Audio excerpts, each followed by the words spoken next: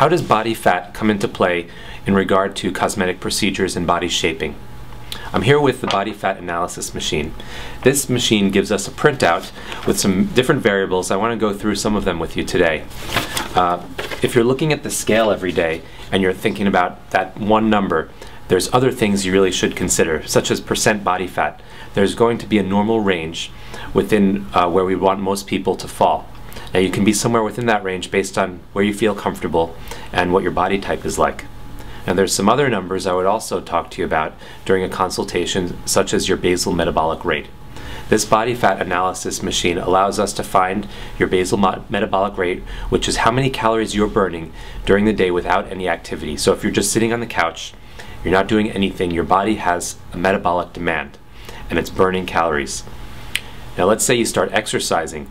The number of calories that you burn during exercise can be added to your basal metabolic rate to find your overall calorie burn during the day. Now there's a simple mathematic formula. If you burn more calories than you take in in food intake, then you will start losing weight. So that's what I would counsel you on if you're looking to lose weight around the time of a body shaping procedure. We would look at your basal metabolic rate, your body fat, and we'd review that body fat analysis.